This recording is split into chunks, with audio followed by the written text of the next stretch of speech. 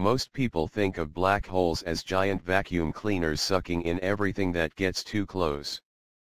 But the supermassive black holes at the centers of galaxies are more like cosmic engines, converting energy from infalling matter into intense radiation that can outshine the combined light from all surrounding stars. If the black hole is spinning, it can generate strong jets that blast across thousands of light years and shape entire galaxies. These black hole engines are thought to be powered by magnetic fields.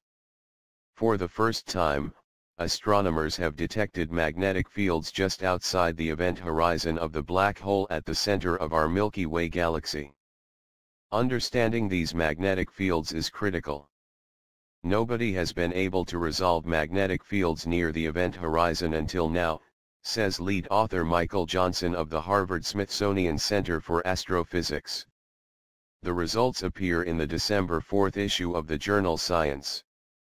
These magnetic fields have been predicted to exist, but no one has seen them before.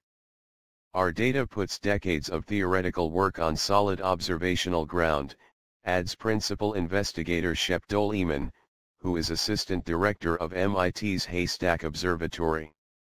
This feat was achieved using the Event Horizon Telescope, a global network of radio telescopes that link together to function as one giant telescope the size of Earth.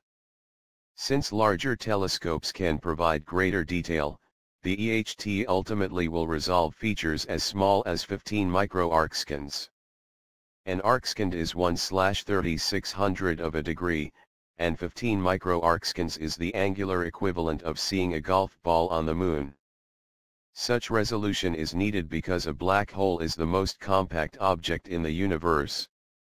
The Milky Way's central black hole, SGRA Sagittarius A star, weighs about 4 million times as much as our Sun, yet its event horizon spans only 8 million miles, smaller than the orbit of Mercury. And since it's located 25,000 light-years away, this size corresponds to an incredibly small 10 microarcseconds across. Fortunately, the intense gravity of the black hole warps light and magnifies the event horizon so that it appears larger on the sky, about 50 microarcseconds, a region that the EHT can easily resolve.